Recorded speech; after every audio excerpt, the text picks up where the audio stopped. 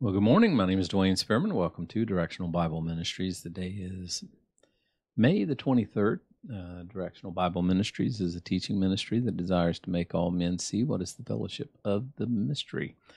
Last time we were together, we um, looked at session 17. We're going through the book of Ephesians. And we picked up verse 3, 20 down through chapter 4, verse number 7. In the study, uh, we saw Paul giving a doxology, which we've talked about as a spontaneous acclamation of praise. At the end of chapter number 2, uh, in then inviting us to walk deserving of our calling. Um, chapter number two, I think that's chapter number three. Um, just curious there. Yeah, I'm pretty sure it's. Uh, I'm not sure what I was. I think I wrote that wrong. Let's see, Ephesians chapter 3. Prayer for strength. No, I guess it was. I guess I did write that correctly. In the or nope, chapter 3.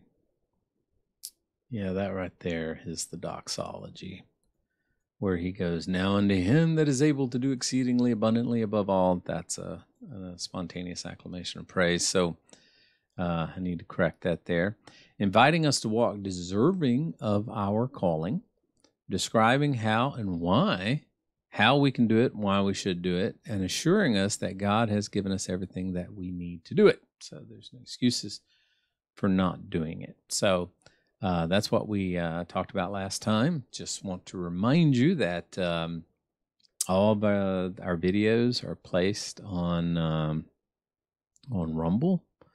Um, so you can check those out. And then I also place them on the website, you know, uh, dwaynespearman.org. You can get to that. They're all there. And then, of course, they are also on SoundCloud. Matter of fact, everything starts out at SoundCloud. And then SoundCloud disperses it uh, out where it needs to go. Um, that includes Apple Podcasts. They're all there if you want to check that out. And then they're also on Spotify and SoundCloud is the tool that I use to do that. And then, of course, we do also have a YouTube channel. Um, I've got that set up so that when I post it to YouTube, it automatically throws it over to um, Rumble. So um, you see that. Get a lot more traction on Rumble than on YouTube. So uh, actually, videos on Rumble are monetized. Um, I've never had a video on YouTube to be monetized, but anyway, that's how I record it. I use uh, Audacity to record everything, and then I throw it down. Uh, that's my screen. That is a shot of Liberty University in the fall, and um, we had an opportunity to go down and see our our baby, our grandchild, and uh, you remember when she was born right there little bitty thing when we picked her up at the when we went and visited mom and dad at the hospital. Um, that's taken too long. Um, I just haven't looked at them in a long time, but we were down there, and Janet got to spend some time with little Paisley, and uh, she turned nine months old on um, on the twentieth. She was actually born August twentieth on our thirty sixth anniversary. So, pretty proud of that. We're proud of her she's a beautiful little grandbaby and um so enough with that. So today what we're going to do is we're going to pick up in session 18 um verse number 8 so just for a little context um uh, verse number 1 of um, Ephesians chapter number 4 first. I, therefore, the prisoner of Paul, beseech you to walk worthy of the vocation wherewith uh, ye were called, with all lowliness and meekness, with long suffering, forbearing one another in love, all the while endeavoring to keep the unity of the Spirit in the bond of peace. Why? Because there's one body, there's one Spirit, even as you're called, in one hope of your calling, which is his return, which for the body of Christ is the rapture. One Lord, one faith, one baptism. There's only one God and Father of all of us, who is above all and through all and in you all. But unto every one of us is given grace according to the measure of the gift of Christ. And we talked about that that grace is uh, He has given us enough to fulfill the vocation to wherewith we are called. He has given all of us. Uh, I believe that He is simply saying that every one of us have been given enough grace to fulfill God's purposes and callings on our lives. Okay? And then we get down into verse number eight. Wherefore he saith, When he ascended up on high, he led captivity captive and gave gifts unto men. So now Paul is going back and quoting from the Old Testament. He's quoting from Psalm 18. Uh, in Psalm 18, Psalm 68, 18, actually, it says, Thou hast ascended on high Thou hast led captivity captive. Thou hast received gifts for men, yea, for the rebellious also, that the Lord might dwell among them. So remember context, context, context. I mean, you have to read the verse in context. You got to look at what it, what was said before it, the train of thought, where Paul was going. Paul doesn't jump down a lot of rabbit holes. Paul is very good. I mean, he does make parenthetical statements. Uh, obviously, he throws out a few doxologies here and there, but Paul is very linear in his thinking. He is building a case. That's why the word therefore and wherefore is found throughout the Pauline epistles. He is building a case. He says this, he builds on this, therefore this, you know. So, um, so when Paul gets here, um, he's talking about gifts.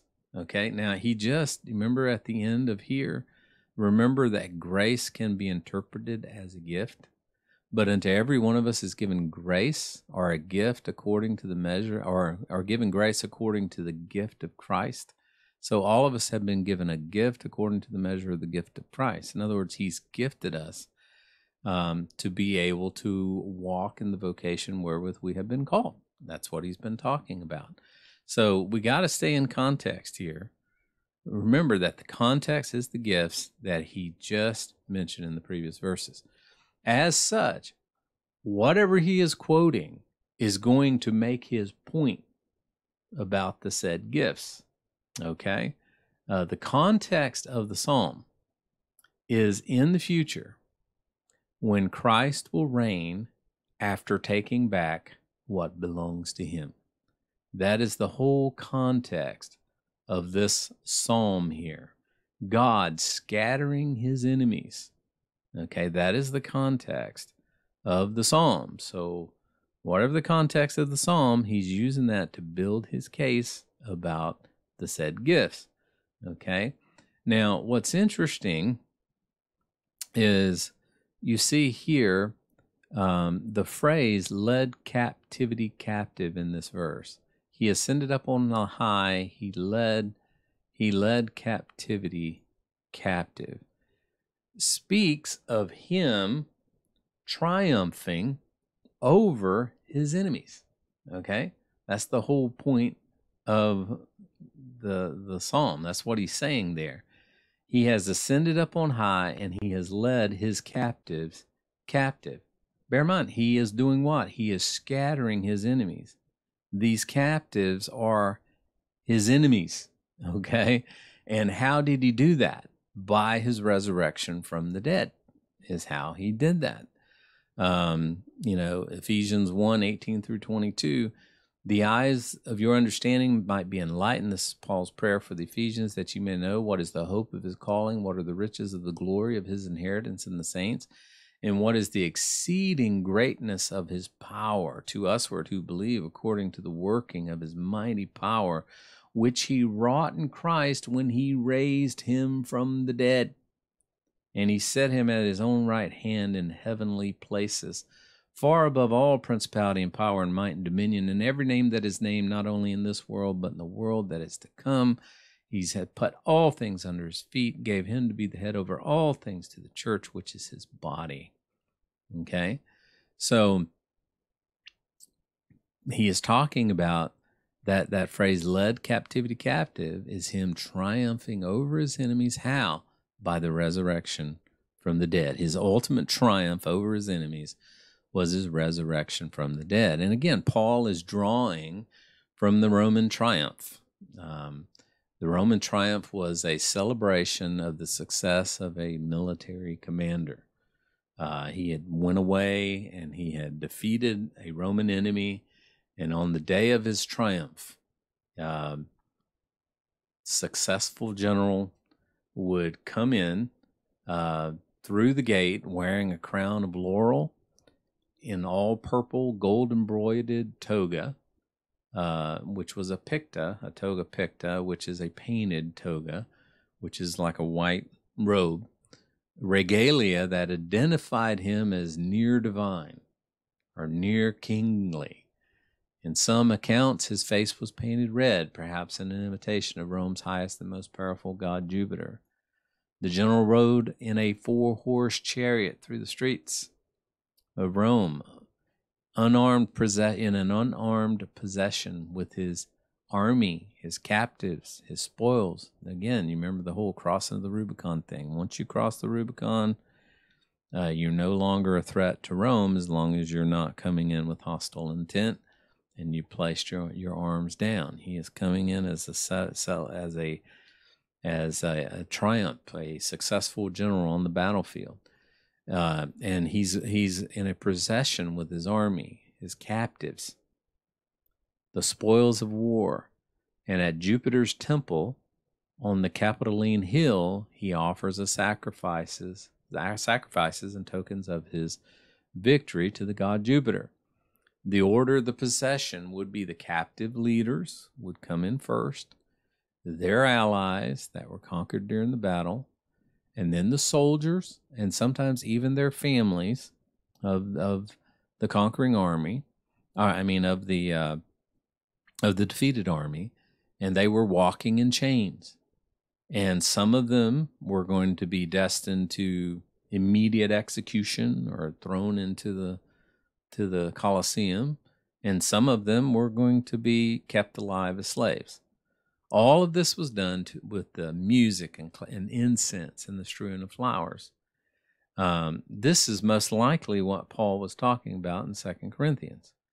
Uh, chapter 2, when he said, Now thanks be unto God, which always causeth us to triumph in Christ. So we overcome, just like that general did, in Christ, and makes manifest the savor of his knowledge by us in every, every place, or manifest the Savior of his not the savor that's the smell of his knowledge in every place.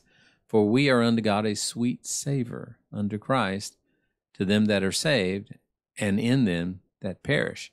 In other words he's going back and comparing our relationship with the lord and our triumph in him to a roman triumph. As they came in the gates uh, you know, the the captives were in chains and they smelled this incense. Um, all of them smelled the same incense. But to some of them, that incense meant death. They were going to be executed. And to some of them, it meant mercy. It meant life. They were just going to be granted servitude, but they were going to survive. So the smell meant a different thing to different people. And that's what the Apostle Paul is saying there. He's saying, to the one, we are a savor of death to death, and to the other, we're a savor of life to life, who is sufficient for these things. So Paul makes this comparison a couple times. Uh, now, some will point to the fact, uh, let's get over here, verse number eight, that Paul um, does not quote the passage precisely. Uh, the psalmist actually said, Thou hast received gifts for men. Okay. Uh, let me see if I can get back over there just to make that case. Yeah, see, thou hast ascended on high, thou hast led captivity captive, thou hast received gifts for men. But Paul said, and gave gifts unto men. Okay, so one says he received the gifts for men, and the other one says he gave the gifts to men. And again, he has to be talking about these gifts that he's given for us to fulfill the vocation or the calling to which we've been called. Now, he could be saying that what Christ received, he is now giving, which would be the grace gifts that he's been talking about. Because if we go back into uh, verse number seven, look what he says. Get back over in the proper chapter. But unto every one of us is given grace according to the measure of the gift of Christ. So he could be saying that Christ received, he's now giving these grace gifts. Um, in verse 11, and he gave some to be apostles and prophets and some evangelists, pastors, teachers. That's those are gifts. So he would be saying that Christ received and now he's giving.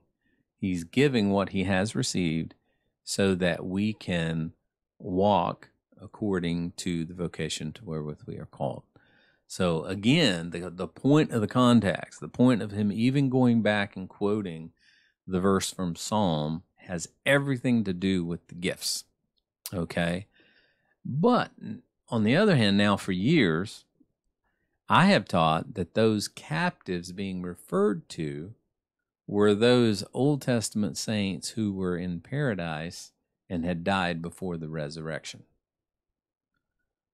Psalm 18, Psalm that psalm is not talking about saints that are in paradise that died before the resurrection. so, um, not so sure about that view now. I used to be pretty dogmatic about it. It's like the brother said, you can speak authoritatively on things, and you can speak dogmatically on things. Um, I spoke very dogmatically on that. Um, I, I don't think that's so much. He's he he is referring to his enemies. So the Old Testament saints in paradise certainly were not God's enemies. Uh, these are enemies that he is going to triumph over. So again, this this verse here, wherewith he saith, when he ascended up on high, he led captivity captive and gave gifts unto men, I don't think is referring to Old Testament saints that God freed during the period between his death and his resurrection. Um, you know, I, I just don't see that in the scripture. Um, now, the the interesting thing is after he says this in verse eight, wherefore he saith, when he led, when he ascended up on high, he led captivity captive and he gave gifts to men. Notice that Paul is going to insert a parenthetical statement and this is where we start building um, the different points of view about him, um, what he did while he was down there between death and resurrection. Notice he says, now, and this is almost this is kind of like a clarification statement that Paul's giving here. He just wants to clarify what he was saying there. Now, he that ascended, now we know that he that rose from the dead was Jesus. What is it but that he also descended first? So Jesus, before he rose from the dead, he descended into the lower parts of the earth. Um, so, and then verse number 10 He that descended is the same one that ascended. So we're talking about Jesus here. And now he is far above all heavens. Why? That he might fill all things. Isn't that very similar to what he what Paul said over here in Second Corinthians 2? Uh, where he talks about how that uh, um, now, thanks be unto God, which causes us triumph in Christ, makes manifest the Savior's knowledge by us in every place. He's the sweet savor, very, very similar, uh, referring to him. Also, I think it's Ephesians, is where, yeah, right here, where it's talking about when he his the eyes of your understanding be enlightened, the exceeding greatness of his power which he brought in Christ who's now far above all principality and power and might and dominion and everything that is named in this world. I mean, he he triumphed by resurrecting uh, from the dead. Um, so now, now let's let's look at this parenthetical statement. Now that he ascended, Jesus, now that he's risen from the dead, what is it that he first descended? So when he died, he went into the lower parts of the earth. And he that descended, he's the same one also that ascended far above all heavens. See all this, far above all principality and powers, that he might fill all things. You see, Paul said over here in 122, put things under his feet and give him be the head over all things to the church. So, again, these verses are parenthetical, and it, that means that verse 8 uh, runs directly into verse 11. So, if you were to read it without the parenthetical statement, Wherefore he saith, When he ascended up on high, he led captivity captive, gave gifts unto men, and he gave some apostles and prophets and evangelists and pastors and teachers. Okay? So this verse simply speaks of Christ's death, burial, and resurrection. Those two parenthetical verses there are laying out Christ's death, burial, and the resurrection. Um, and uh, so, you know, I, I, think, you know, I got some more notes on this. Um, the Apostles' Creed says Jesus did not descend into hell, but he went to Hades, the place of the dead. So there's some controversy over where he went uh, when he descended. Um, I don't believe that uh, hell is where men go after the judgment, and that has not yet happened. So there was no hell that Jesus would have went into, let alone, you know, uh, empty because no one was there. okay, so there's there's some controversy over that. Uh, it's just talking about Christ's death, burial, and the resurrection. Um, so you know, uh, they the Apostles' Creed says he descended into hell, and my point is, why would he go into hell? There was nobody in hell. Um, you know, uh, they were in the place of the dead, but they were not in hell, because the first one to be thrown into hell is going to be the Satan, the Antichrist, and the false prophet, and then after the great white throne judgment, you know. So you know, I just, you know, that's not. Uh, I don't think that's an accurate interpretation of what's happening there. Um, got 22 minutes, and I'm still stumbling around here. Um, so let's just recap that before we get into this, which is going to be um, a little bit of a spin on how I've taught it before um, because of the context. Um, so let's just, we looked at verse 8 Wherefore he saith, When he ascended on high, he led captivity captive and gave gifts to men. Um, it's when he triumphs over his enemies and he, you know, in Psalm, in the Psalm that we looked at, it says what? He gave gifts to men. And here it says he received gifts for men.